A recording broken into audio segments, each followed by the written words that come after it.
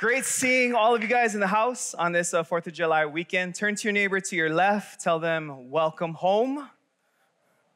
Turn to your other neighbor and also welcome them home as well. And then let's make some noise for Jesus. Let's go. Make some noise for Jesus. Yeah, we're gonna have fun tonight, and this is gonna be a really amazing series. You know, we're Uh, you know coming into a day and age where, like we talked about in the last series, we are emerging out of this pandemic. We are emerging out of the season that we've been in, and there are great things that God has planned, that He has in store for us as a church, as individuals to experience and encounter. Not just for our lives, but for the lives of people that we've been believing for and praying for. I know some of us, like, we came to service and we're like, man, we didn't have to, like, RSVP. Like we didn't have to come in, we didn't need to check in, we didn't need to have like reservations at the 6 and the 745 service. Like changes are coming. But this is something I want to leave for all of us before we dive into God's word. Is that is just an insignificant little change when you compare it to the greatness that God wants to bring us through in the season that we are entering in coming out of this pandemic isn't so that we go back to convenience and go back to how things were and just the convenience of not having to check into a service. God has prepared in us prayers, things of faith that we're believing for that He wants us to experience and encounter firsthand. That's what we're entering into. And I truly believe, I truly believe, and I think that's this is for many of us too, that some of the greatest days that we will ever witness on this side of eternity is because of what we've been through and what God wants to use in and through us in this upcoming season for others as well. I'm telling you that. This is a prophetic time. This is a great moment, a great opportunity for God's people to rise up. So, in this series, we're going to be talking about what it is to serve in the church. We're going to be talking about that tonight. Next week, we're going to be talking about what it is to serve at home. And then after that, we're going to be talking about what it looks like to serve out there in the community. And I know some of us are like, man, like a series about serving. Like, what is significant about that? Right? A series like that, like, that's like, how? How does that connect into my relationship with God? How does that make me a better Christ follower, being trained and equipped by God's word and his spirit and his truth to be an excellent server for his glory and for his kingdom? Like, how? Why? When? Who? Right? Many of you guys are Gen Z, many of you guys are on the younger end of the spectrum. We live in a culture and a society today that is based off of what you can build for yourself your namesake, your notoriety, your tweets, your followers, your responses of what people think about you and say about you. We want to build our lives in such a way where we have a kingdom to ourselves. But here's the crazy thing about God. Here's the crazy thing about Jesus. Is God himself created a kingdom and it wasn't just for him, it was for all of us to experience his love in real and genuine and authentic ways, personal ways which is why he sent his son Jesus for all of us. Which is why when we talk about serving, it actually reveals to us how much Jesus loves us because he is a king of kings and a lord of lords, yet at the same time, he came from heaven to see us face to face in our brokenness and our depravity. And he accepts us and he loves us. And he says, Son and daughter, I have called you to greatness. Now go in faith.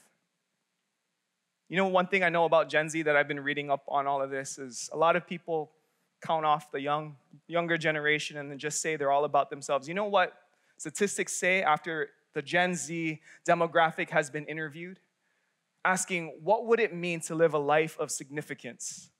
You know how Gen Z has responded? To make a difference in the world. There is no greater difference that you can have in your day and age, in your life here on earth, than allowing somebody to encounter the presence of God through your life and inviting people into the greatest story of redemption we will ever see and witness. And He came to earth for us. That is King Jesus. He came as a servant. And that's what we're going to be talking about tonight. So, if you want to learn how to be more like Jesus, if you want to be able to exemplify Jesus more and more and more in your working place, your campuses, with your family, with your siblings, with your friends, get to know more about serving.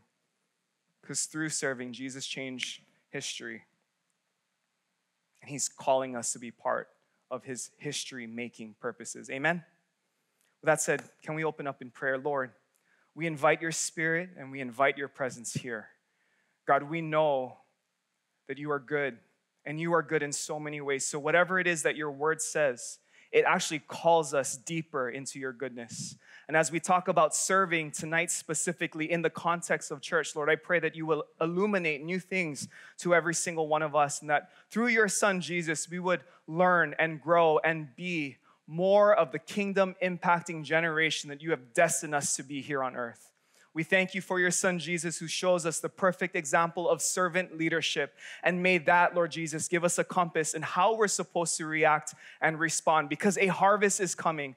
Family members, friends, co workers, and classmates are going to come to know you in this season. Help us, Lord God, to be part of the journey of helping them encounter you through us.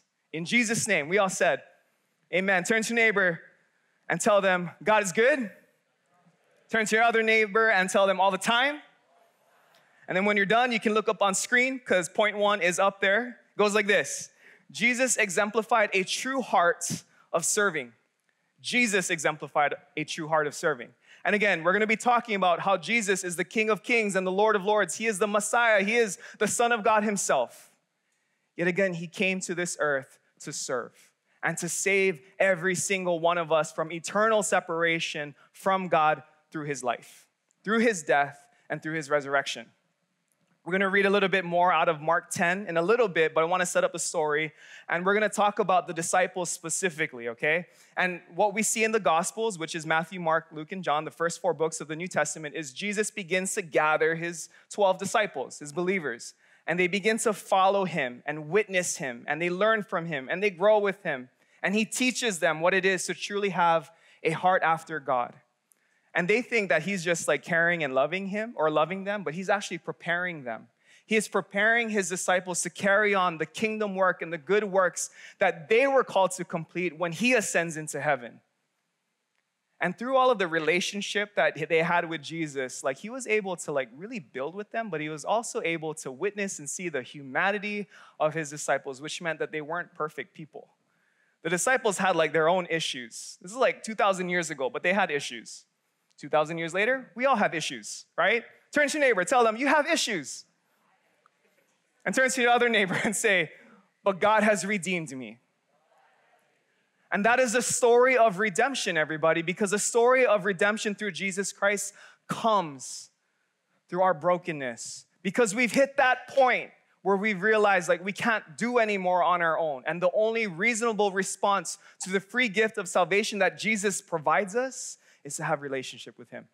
These disciples had to count the cost of following Jesus, and they began to do that. So they're following Jesus, they're watching him perform miracle signs and wonders, teaching them, equipping them, talking story with them. Jesus was the best storyteller. Read the New Testament, you'll see it for yourself. But again, in these moments, Jesus gets like a glimpse of their heart, glimpse of their soul. And there's these two um, disciples, James and John, they're brothers, right? And again, it's starting to hit them like, dude, like this is actually the Messiah. Like he just rose someone from the dead, he just healed the blind, like he just showed compassion to somebody that was outcasted in society. This is the Son of God. He is the Messiah that the Old Testament prophecy said would one day come and save God's chosen people once and for all. This is the guy. So here's the thing the disciples, being fallen and broken, they respond to the reality of who Jesus is with this they wanted shotgun in Jesus' car. And James and John go up to Jesus and they're like, Jesus, yeah, we're brothers, okay? So, like, we're in this together, but we left the other 10 disciples and we want to ask you, when you conquer sin and death and you save humanity, can we sit on the left and right of your glory? Just the two of us, not the rest of the disciples, not the rest of the people that you're gonna save, just the two of us. We all have like those friends, yeah, that always want shotgun when someone like drives. Like, isn't that like so annoying? Like, why do you always get shotgun? Like, why do you just always go to the, just because you said shotgun, you're entitled to the shotgun like seat? Right? How do you feel about those people? Some of you guys are already thinking of people and you're like, man, like, that was my friend when we came here. They called shotgun. There's this entitlement that we have, right? And God, in His loving truth, has a moment with His disciples and He's like, let's talk a little bit about that. Let's talk about that heart motive of wanting to sit at the right and left of my glory. Like, let me actually tell you about who I am and what it truly, truly means to sit in the glory of God. These are just like the two brothers. The other 10 disciples found out and they're like, dude, like these guys are like trying to like make moves with Jesus to have more authority and more like opportunity with Jesus the Messiah. And they started all getting mad and angry. And like what Jesus does, again, he knows that they're fallen and broken, but these are his disciples that he is preparing to change the world with the gospel. So he gathers them all in James, John, Peter, Mark, all y'all, come, let me teach you. God's word teaches us how we're supposed to live. That's fact, it's truth. And this is what Jesus speaks to his disciples who are now trying to make moves with power and authority. This is what Jesus says Mark 10 43 to 45.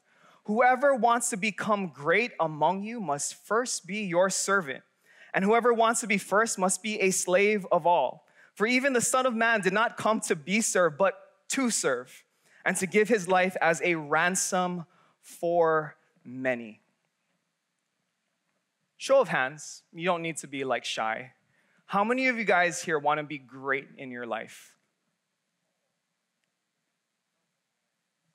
Some of us want to be mediocre. That's okay. Okay. We're in church. You can put your hands down.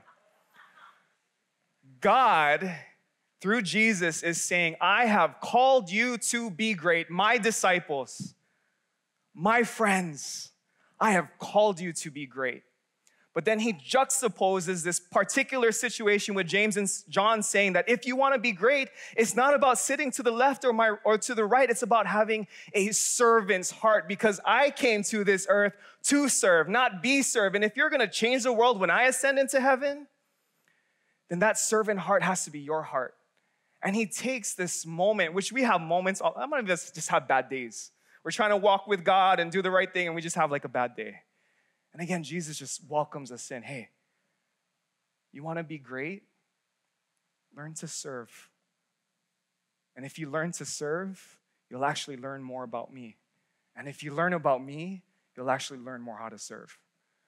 You know, there's a lot of dreams here. Like many of us, we want to be entrepreneurs. You want to start new like gadgets or things, right? A lot of us want to be great teachers and we want to be great doctors or we want to be great engineers or we want to be just great people, great mothers, great fathers, great husbands, great wives, great baristas if you like Starbucks, you know, and coffee bean. We want to be great, but the world says be great by attaining notoriety and status and being at the right hand of great leaders and messiahs and kings. And then Jesus says, no, no, no, no, no. You want to be great? Learn to serve. That's who I am. And that's who I've called you to be. And when I'm no longer here on earth, and you guys are gonna have to share the gospel and make disciples with a nation and people who are gonna ridicule you and persecute you, you're actually gonna need one another. So, all this fighting that you guys are having because James and John had a moment,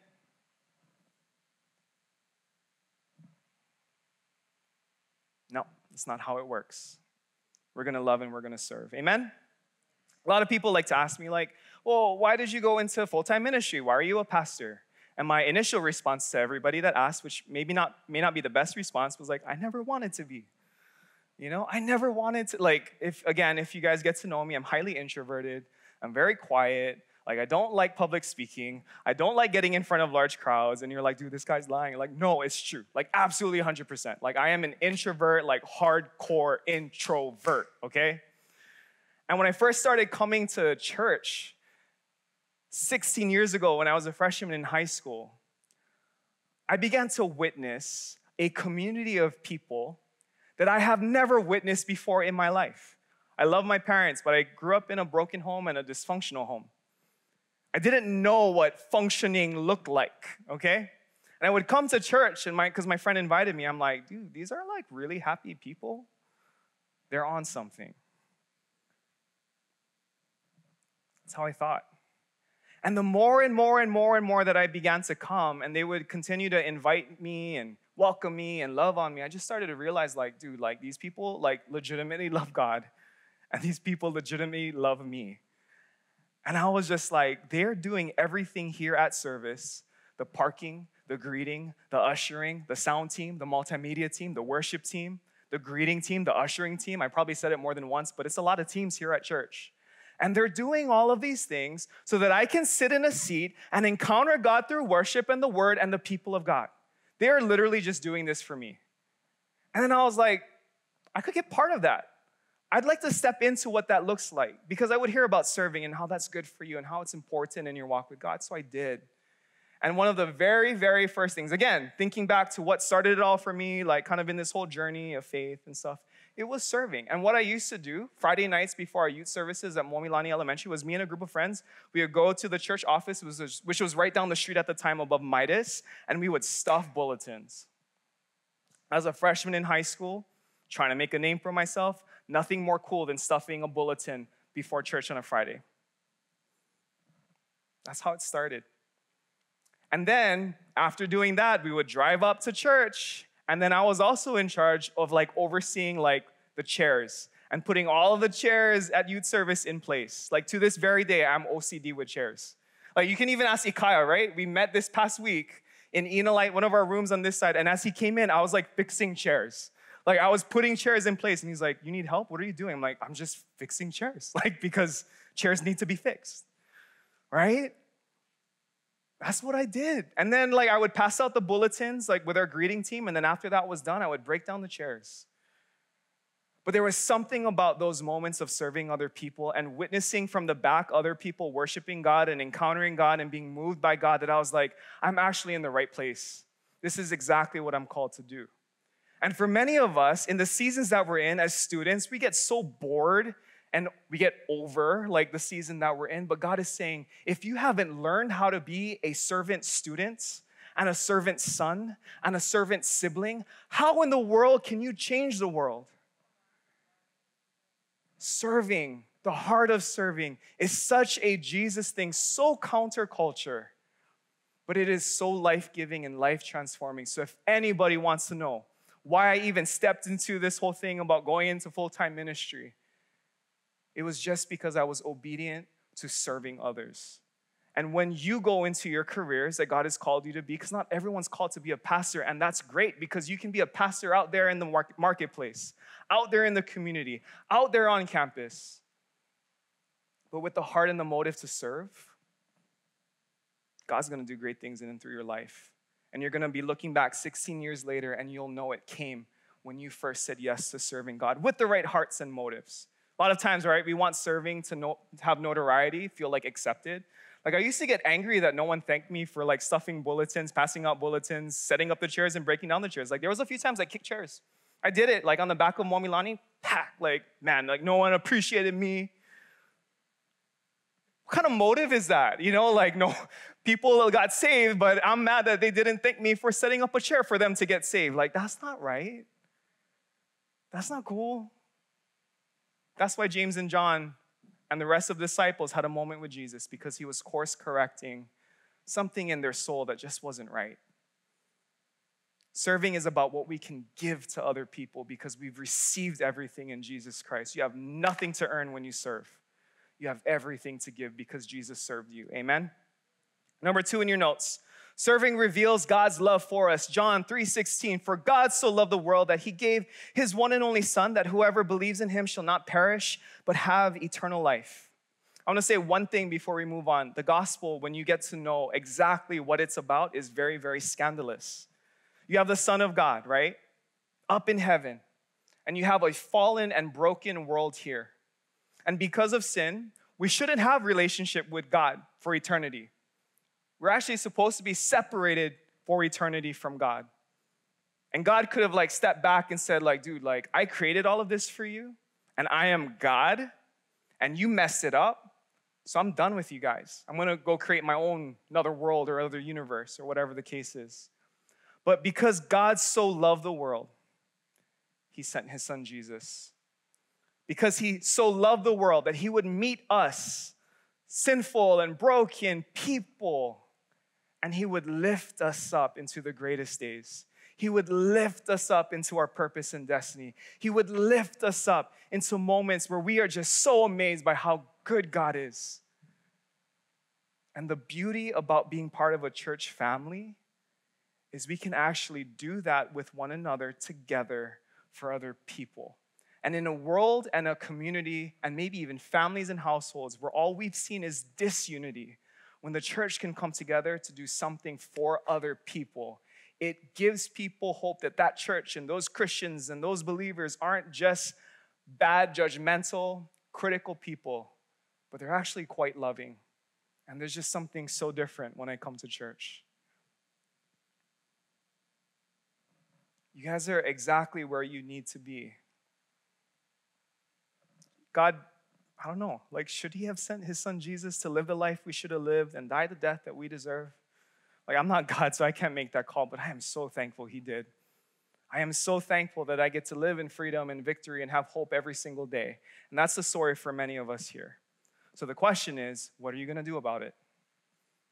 You're just going to sit, or are we going to sit in our 22 inch seats and just be comfortable, fart during service and not tell anybody, and then just kind of carry on our way? Or are we going to rise up to the occasion and say, yo, these seats in this house, they're for people. They're for my family. They're for my friends. They're for my coworkers. They're for my classmates. They're for my friends who are broken and on the brink of extinction. That's for them. You know how I know that? Because someone did all of this for us. Someone did all of this. People have done all of this tonight for you who are sitting in the chairs right now, hopefully encountering God in a real, authentic way. God's love is supposed to be exemplified by God's people. And we know that by Him first exemplifying His love for us through Jesus Christ. Amen? Amen. You know, one of the last moments that Jesus had with his disciples before he was going, to be crucified and before he was going to be wrongfully judged, crucified, and then killed was he was actually with his disciples and again, throughout his time with his disciples, he was constantly teaching and preaching them, giving them examples and parables and stories and illustrations and, and even correction in truth and grace and love, right? To his disciples about what it truly meant to be, you know, servants. And now he is actually telling his disciples in the Gospels and specifically out of the book of Luke that he is just saying, like, hey, I'm, I'm about to die.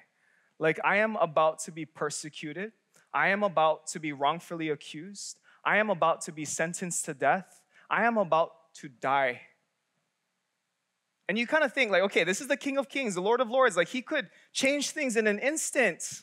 Like, he could make everything turn around for his good and for his glory, like that, because he's God. But he's telling them, this is it. Like, this is the moment that we've been preparing, or one of the moments that we've been preparing for. And again, he gathers them in, he pulls his disciples in, and then he has a moment with them. Another moment to show that this King Jesus, first and foremost, is servant Jesus to his friends, to sinful, broken people that Jesus sees as his friends. Pulls them in, and he begins to wash their feet. Now, do me a favor turn to your neighbor, look at their feet. Look at it intently. If they're wearing shoes, imagine what their shoe is hiding on the inside. Might be some crooked nails, might be some dirt in the side of the toe, might be some dry skin, right? Yeah, you guys are like, dude, Jesus really was a champ, man. Really was a champ.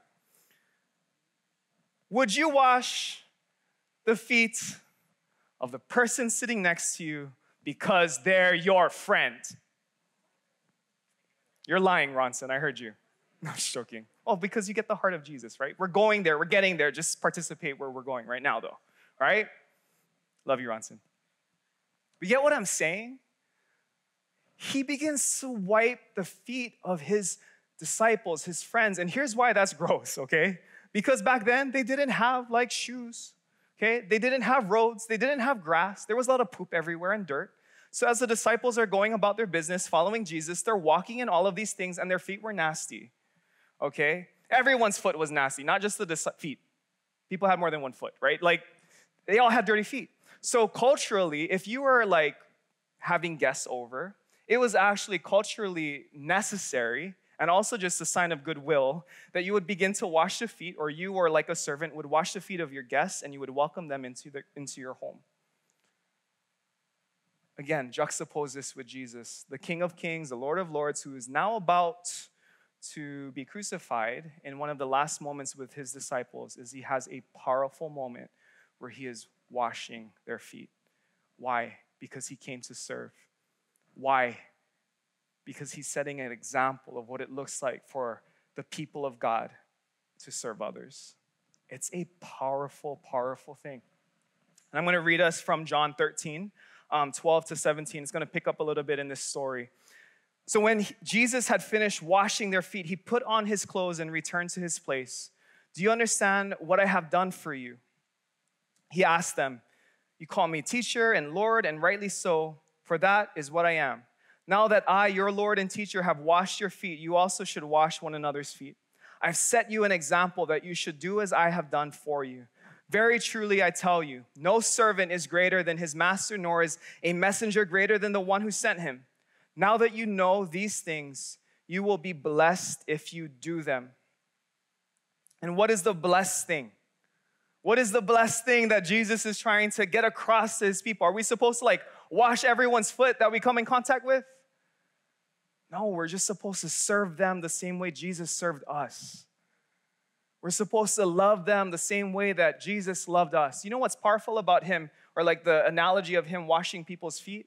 That's actually what he does to our soul. He washes our soul of the dirt and the muck and the mire. And when we witness a clean heart and a clean life and a transformed heart and a transformed life, how could we not want to do that for other people?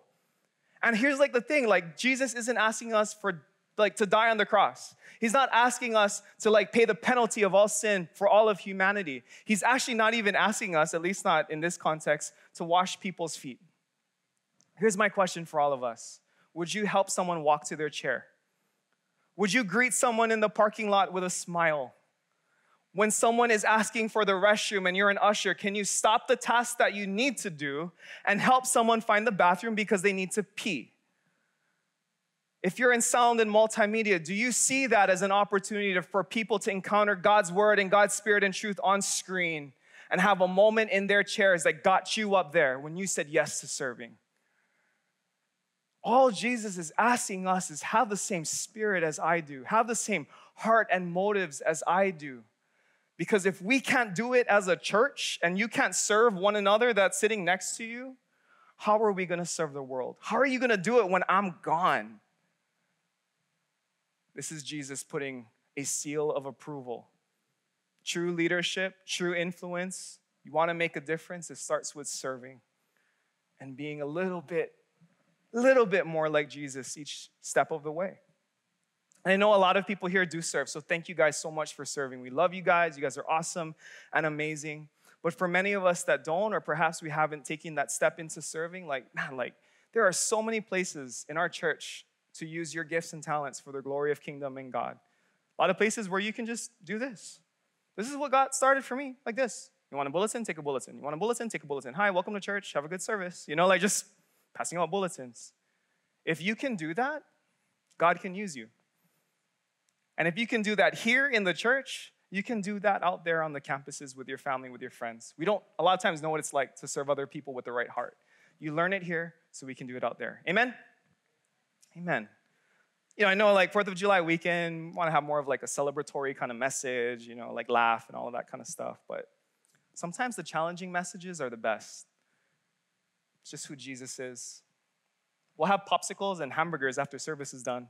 But I got you right now, so we're gonna get into God's word. Amen? Amen. Number three in your notes as we bring things to a close tonight serving enlarges our heart for others. And here's a key one John 13, 34 to 35.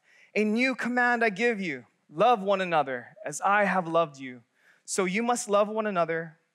By this, everyone will know that you are my disciples if you love one another. Again, John 13, 34 to 35.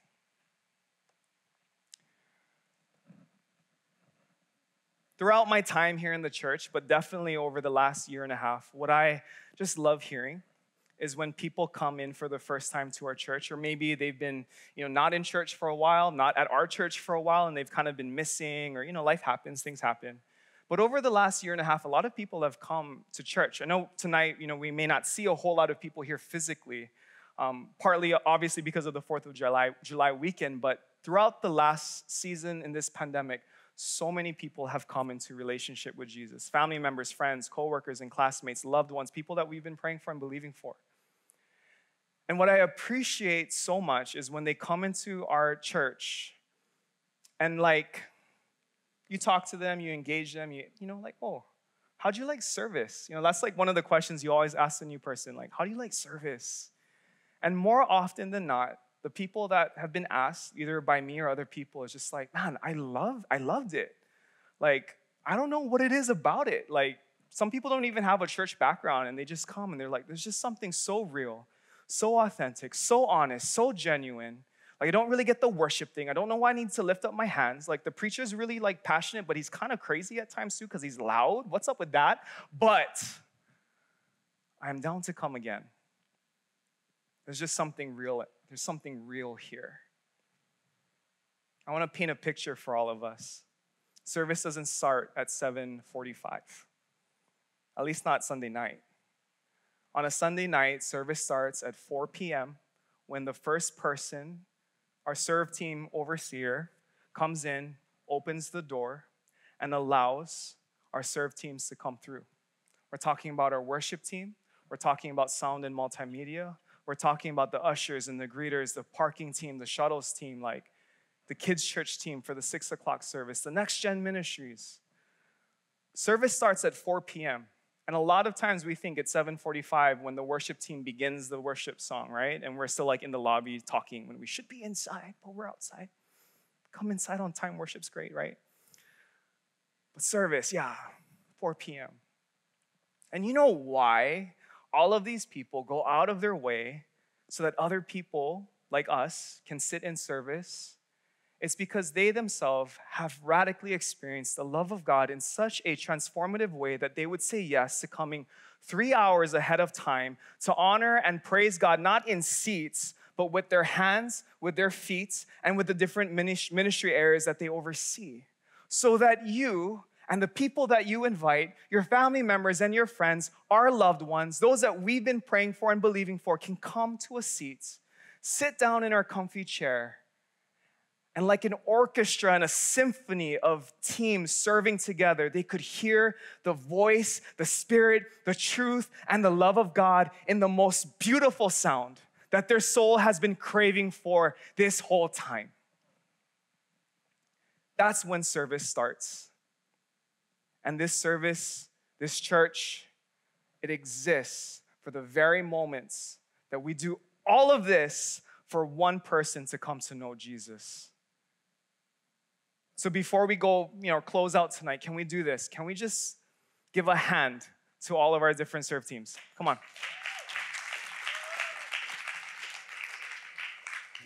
And I want to leave this with all of us too. Like when you come, and I know we want to talk to our friends and you know, we want to, you know, just be here. But in still in small moments, like take a look. Take a look at the faces. Take a look at the people. Take a look at the ones that have gone above and beyond. They're doing it for you. And as we enter a season where our family and friends, the harvest is going to come and so many lives are going to be changed, we're actually preparing it for them. But we're also in need right now for all of us to come and say yes, that we want to be part of someone's journey to encounter God. You know how God knows, or how we know that God wants this message to be preached? We've got fireworks happening right now. This is a celebra- celebratory thing, talking about serving. I mean, it's really what the 4th of July is about, right? But we're gonna park here a little bit. Are we ready? Because some great things are coming and happening. We're gonna be part of that journey, amen? Jesus talked to his disciples and he handled all of their issues with so much grace and truth. And at the end of the day, all he asked was for them to serve and to love and to be all that they could be for the sake of one more life, saying yes to Jesus in their lifetime. And the disciples worked together. They weren't perfect, they weren't Jesus, but they worked together.